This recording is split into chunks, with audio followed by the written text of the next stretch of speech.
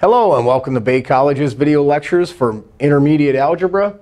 We're going to look at section 6.1, which introduces roots and radicals. Those words are interchangeable. Um, the first thing we're going to look at is a question, and that question is what number squared gives us 49? Now, algebraically, that's what this statement says. What number squared would give us 49? What we have to realize is that there's two possibilities. I know that 49 is a perfect square. It's 7 times 7. So 7 squared would give me 49. That's one possibility. The other possibility is negative 7. Negative 7 squared would also give me 49. Because a negative times a negative is a positive, and we're taking a number times itself. So negative 7 times negative 7 is also 49. So there's two solutions to this, plus or minus 7. And we'll discuss about when we introduce a radical, a square root, we have to remember a plus or minus for this particular reason. But what if we asked, what is uh, the square root of negative 49? Well, in the real number system, there is no real solution. So we'd actually say no real solution.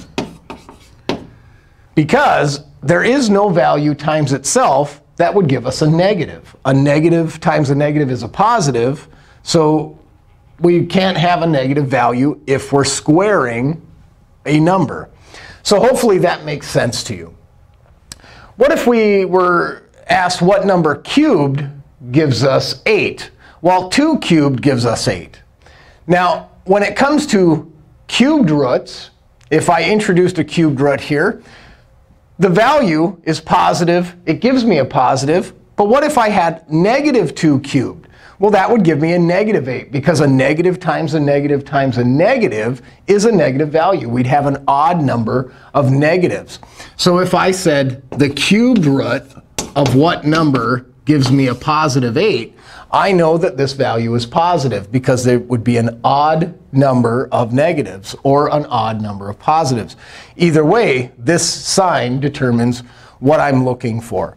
So if I had uh, the cubed root of x equals negative 8, I know that this value is a negative because a negative times a negative times a negative is a negative value. One thing that's going to help us when we uh, work with roots and radicals is to know our perfect squares. And I've listed the perfect squares up to 13. This would be 1 squared is 1, 2 squared is 4, 3 squared is 9, 4 squared is 16, so on and so forth, up through 13 squared, which is 169. Sometimes we might see fractions that are perfect squares. And their numerators and denominators will be a combination of those perfect squares. And if we can identify those, it's going to save us a lot of time when we look at a radical. Sometimes we'll see radicals of numbers that are not perfect squares. As an example, the square root of 2. This is an irrational number, which means it's a non-terminating decimal. So I wrote out uh, some of the values here, 1.4142135, and that number would actually continue. But our calculators, if we put this into a calculator, can only read to so many digits. Eventually, it has to be rounded off. So this really isn't an equal sign. It's an approximation because it is irrational. It continues on. We should also know our perfect cubes. Um, obviously, not all of them. That would be too much to memorize. But we should know some of them. 1 cubed is 1, 2 cubed is 8, 3 cubed is 27, 4 cubed is 64, uh, 5 cubed is 125, so on and so forth. If we can recognize those, it's going to save us a lot of time. And some of our perfect fourth power numbers, such as 1, 16, 81, 256, 625, and so on. So you should know some of them, uh, and it'll save you some time. And if you recognize them, you'll be able to uh, come to the uh, solution a little bit faster. So let's look at some examples. here I have the square root. And notice that there's no number here. When there is no number here, we have to assume that it is a square root, an index of 2. And we'll define index shortly. But this is a square root. What number times itself? When we don't see that value, we assume 2 because that is the lowest radical we can have. So what number times itself is 121? Well, I recognize 121 to be a perfect square of 11. 11 times 11 is 21. So the square root of 121 is 11. Here we have a cubed root, the cubed root of negative 125. Well, I identify cubed root of a negative. That's OK. I can have the cubed root of a negative because a negative times a negative times a negative is a negative value. I also identify 125 to be 5 cubed. It is a perfect cube. So I would get negative 5. And I can check that by saying, well, negative 5 times negative 5 would be a positive 25 times one more factor of negative 5 would give me that negative 125. Now here, I see a fraction under the radical, but I identify 16 as a perfect square, 25 is a perfect square. There's a negative, but it's OK because even though it's a square root, this negative's on the outside. So it's saying a negative times this value. So if I'm going to assess this, well, a negative times the value is going to be a negative because there's only one negative, an odd number. The square root of 16 is 4, and the square root of 25 is 5, negative 4 25ths. So if I just look at 4 25ths, if I want to check my answer, I can square that. 4 times 4 is 16. 5 times 5 is 25, or essentially 4 fifths times 4 fifths would give me 16 25ths.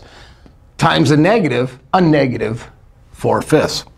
Here we have a cubed root, and I notice that they're both positive, so I know I'm dealing with a positive value because this is odd.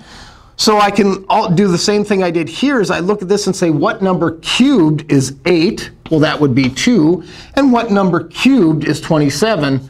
That would be 3. And I could check my work by or raising this to the third power, this power right here. 2 thirds times 2 thirds would be 6 ninths.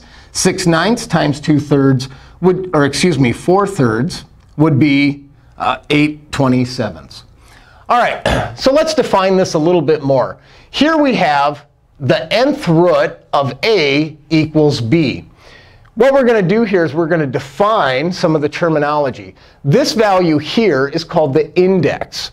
The index says how many times would this would some number have to be multiplied to give me this value, which we call the radicand.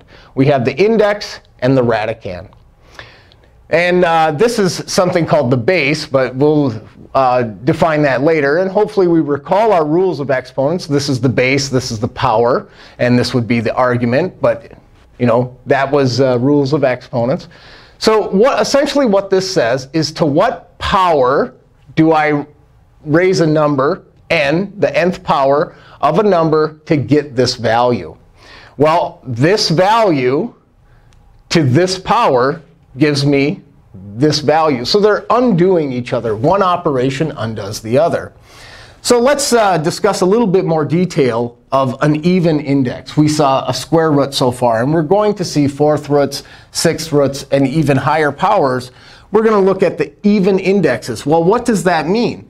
If I have an even index, it means what's under this radical has to be a positive value. I can't take the even root of a negative. When I have an odd index, if n is an odd number, it can be positive or negative. It doesn't matter. My result will be either positive or negative, determining what this sign was. So we want to watch these even indexes and odd indexes because we cannot have negatives under our radical. Our radicands cannot be negative. So we're going to watch that. So let's look at this example here. Here we have the fourth root of 16. So my index is 4, and my radicand is 16. One way to find these solutions, maybe we don't recognize 16 to be a perfect fourth power number, even though it is, we can uh, factor these down. Well, I can say uh, 16 is 2 times 8, and 8 is 2 times 4, and 4 is 2 times 2. I have four factors of 2. 2 times 2 times 2 times 2 is 16, and that's a perfect fourth power number. So what I'm going to do is just rewrite it in a factored form, 2 to the fourth power. So the, what number to the fourth power is what this asks? I can say 2 to the fourth power. So 2 is the solution here. What power, or excuse me, what value raised to the fourth power would give me 16? 2 raised to the fourth power would give me 16. Here we have an odd index. I recognize 5 to be odd, and I see this as a negative value. So I know that my solution's negative because an odd number of negatives is a negative value. So we can factor this down as well in the same way, but for time's sakes, we'll just recognize this as a perfect fifth power number. This is 2 to the fifth. If 16 was 2 to the fourth, well, 16 times 2 is 32. One more factor of 2. So the fifth root of negative 32 is negative 2. And we can check that by raising this to the fifth power. Well, an odd number of negatives would be a negative value. 2 to the fifth is 32. So if we look at uh, some more examples, here we have the square root of 4 squared. Well, one thing we can do, just kind of like I did here, I can see 4 and 4. It gave me that value. I can almost think of it as these 4s are canceling. And we'll get into that in the next section a little bit uh, more when we look at rational exponents. So what I have here, if I have the square root of 4 squared, this says what number squared would give me 4 squared? Well, the 4 is what is being squared. So the answer is 4 because this is squared. Well, what if I had a negative uh, 4, that entire quantity being squared, and I'm asking, what's the square root of negative 4 squared? Well, we can have a negative here even though it's under the radical. The reason why that is is because its quantity is in parentheses. I can almost think of these as canceling. The index is 2. This power is 2. They cancel out or reduce to 1. Negative 4 to the first power would just be negative 4. So here's a case where we can have a negative, but it's only because that quantity is the same as the index. That power of the radicand is the same as the index. Same thing with uh, odd roots. If I have the cubed root of 2 cubed, it's asking me what value cubed is 2 cubed. Well, the 2 is what is being cubed. So I can think of these as reducing to 1, 2 to the first power. Same thing here. If this is negative and it's being raised to the third power, and I'm asking what's the cubed root of that value, we can think of this as reducing to 1, and it gives me negative 2. So we can have positives or negatives, positives or negatives, but with the even index only when these match up. Okay, 2 is my index and 2 is the power, so it reduces to a power of 1. So essentially what this is saying is if we have the nth root of something to the nth power, it gives me that base, that value. So we can simplify the radicand. So let's look at this. If I have the square root of a squared, well, that's just a. a could be a positive or a negative value because this reduces to 1.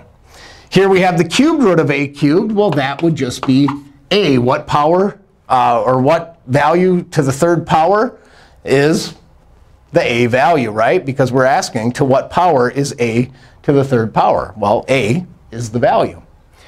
All right, so let's look at a few uh, other cases. What if we have multiplication or division uh, when we're dealing with radicands? Well, here I have the square root of 4 times the square root of 5. Now, I can do it one of two ways, and that's to simplify each one individually. And let's do that first. Well, the square root of 4 is 2 times the square root of 25 is 5, and 2 times 5 is 10. Well, one rule I can do, and it's going to be very useful, especially when I'm dealing with variables, is if they have the same index, in this case they both have an index of 2, they are both square roots, I can rewrite this as the square root of 4 times 25. If their indexes are the, are the same, I can combine them under one radical. So if we look at this, well, 4 times 25 would be 100. And I recognize 100 to be a perfect square. The square root of 100 is 10. So either way we do it, we come to the same conclusion, the same solution. Well, when we have radicals, we can do the same thing. We can think of this I identify 4 as a perfect square and 25 as a perfect square. I could do this division and get a decimal, but we don't want a decimal. What we want to do is simplify it in terms of this. If I can bring them under the radical, I can also split them up because multiplication and division are similar operations. I can say, well, this is the square root of 4, and this is the square root of 25. I can treat the numerator separately from the denominator, but the whole thing is still under the radical. And if I do that, the square root of 4 is 2, and the square root of 25 is 5. So the square root of 4 25ths is 2 fifths. And I could check my work by multiplying this. 2 fifths times 2 fifths squared, right, the index, would give me 4 25ths. So what are we uh, actually defining here? Well, this the first one we looked at was the product rule. If the indexes are the same, n and n in this case, I can bring them under the same radical, the nth root of their product. And then I could simplify it from there. The quotient rule says that if I have a fraction under a radical, I can split it up numerator and denominator. So instead of bringing it together, usually we want to break these apart because they're opposite, opposite operations. So let's define what it means to be a simplified radical. Well, a radical is simplified when there are no negative or zero exponents. If I have an exponent that is negative, I'd have to simplify it and maybe use that quotient rule um, because I don't want any negative exponents. If I simplify under the radical and end up with a 0 exponent, well, we should know anything to the 0 power is 1. So I don't want to leave this as 0. a to the 0, as an example, would be the square root of 1. a to the 0 power is 1. And the square root of 1 is something we can work with and simplify. 1's a perfect square, so I could simplify it to 1. Another uh, case that we need to be aware of to simplify a radical is there can be no factors raised to a power greater than or equal to the index. If we look at this example, my index is 3, my power is 4. This power cannot be greater than that. To simplify that, and we'll look at some examples, is I can say, well, this is x times x times x times x. I can pull out 3 factors of x because x cubed times x, I'm, well, let me actually show that.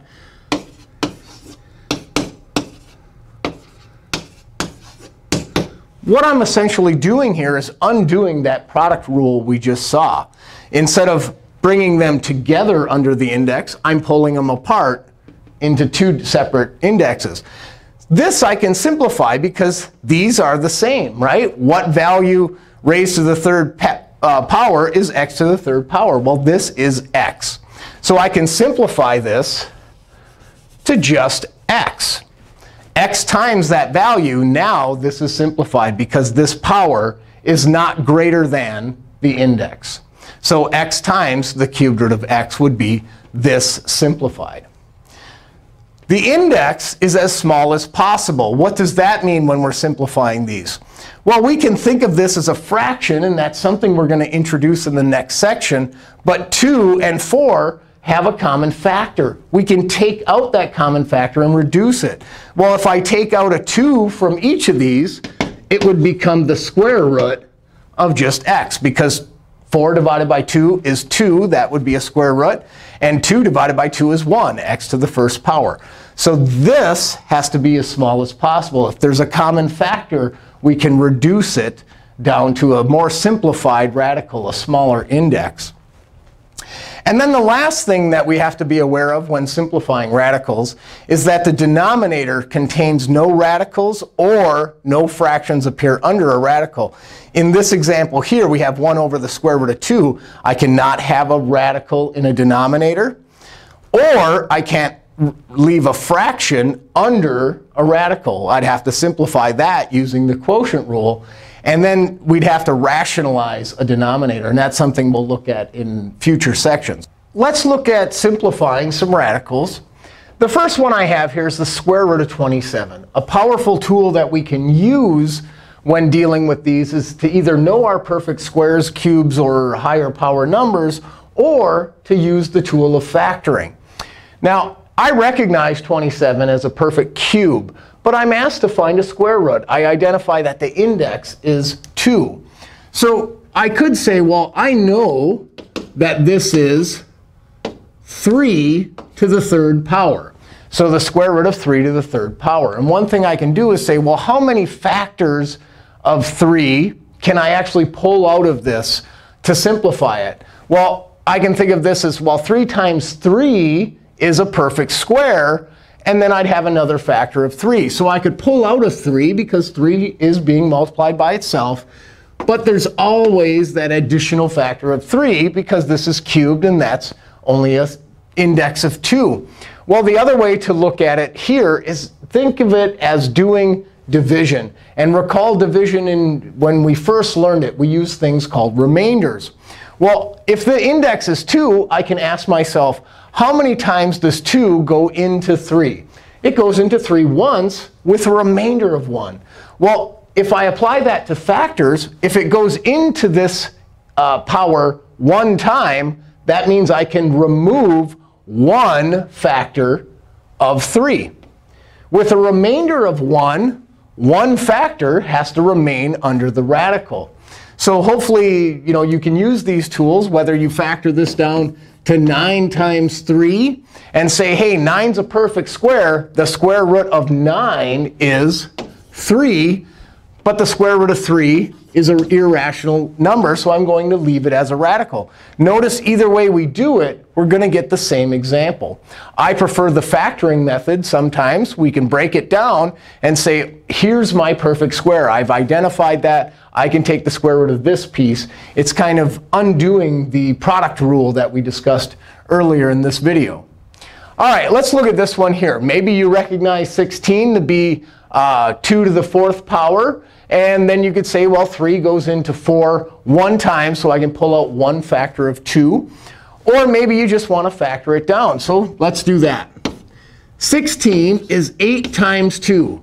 If you can recognize 8 as a perfect cube, you're ready to simplify this. The cube root of 8 is 2. And the cube root of 2, well, I can't simplify that any further we've simplified this radical.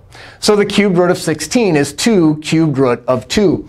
And some students might ask, well, why are we doing this? Why, are we, why can't we just leave it as the cubed root of 16? Well, when we're dealing with radicals, radicals are a concept that sometimes leaves us with irrational numbers such as this.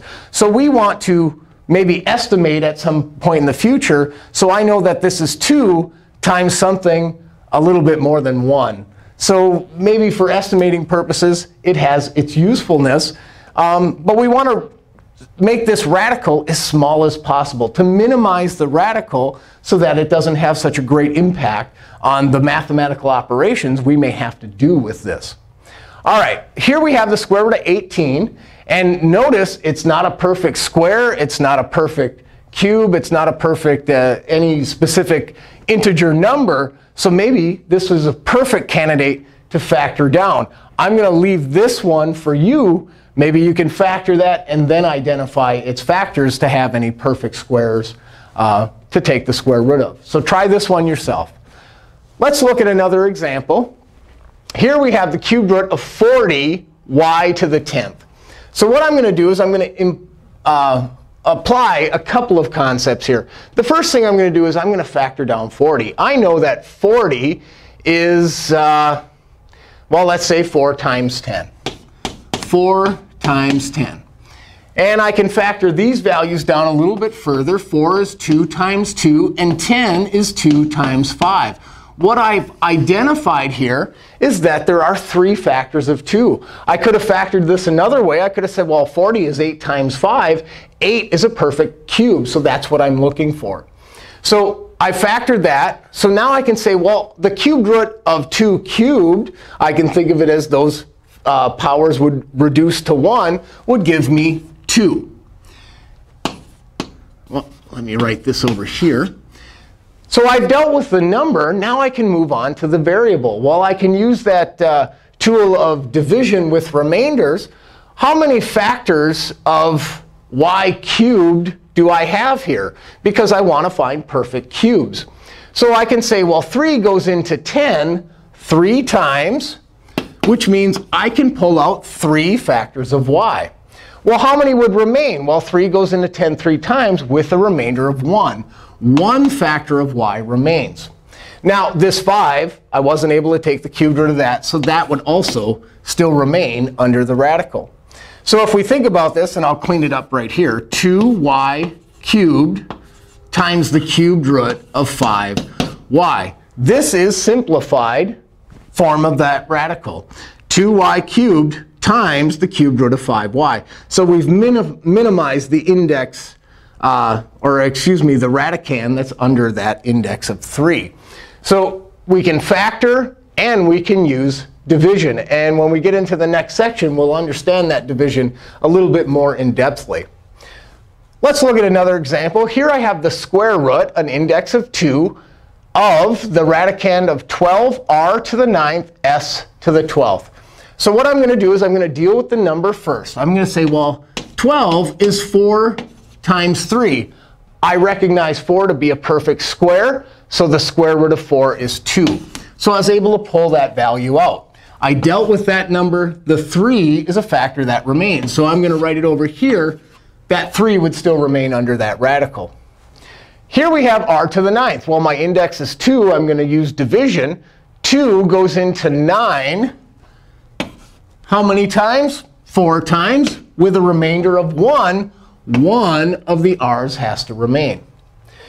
How many times does 2 go into 12? Well, 2 goes into 12 six times. So I can pull out 6 of those factors of s. And if we think about it, s to the 6th times itself, s to the 6th, would give me s to the 12th. Knowing your rules of exponents are going to be extremely helpful when it comes to simplifying radicals. So there's nothing left to simplify there because no s's would remain. So no s's remain under there. There would be no remainder in that division. So we have 2r to the fourth, s to the sixth, times the square root of 3r. So we've minimized that radicand. We've simplified that radical. All right, let's look at this one here. Here we have a radical divided by a radical, and they have the same index. Here's where I can apply that quotient rule. It's 7 times this value? Well, the quotient rule says that if I have a fraction under a radical, I can split it up into uh, two separate numbers that I can simplify, the numerator and the denominator. Well, I can also do that the opposite direction. If I have the same index, I can write this as a fraction under the same radical. That is the quotient rule. And now I can simplify that. I know 162 is divisible by 2. And if I do that, 162 divided by 2 is 81. And hopefully we recognize 81 to be a perfect fourth power number. It is 3. So I have 7 times this quantity, which would be 7 times 3. And I'm skipping some steps for a reason here, which would give me 21. So maybe it's kind of hard to see that. Maybe you don't recognize this as a perfect fourth power number, so you can use the tool of factoring. I know that 81 is 9 times 9. Maybe you identified it as a perfect square.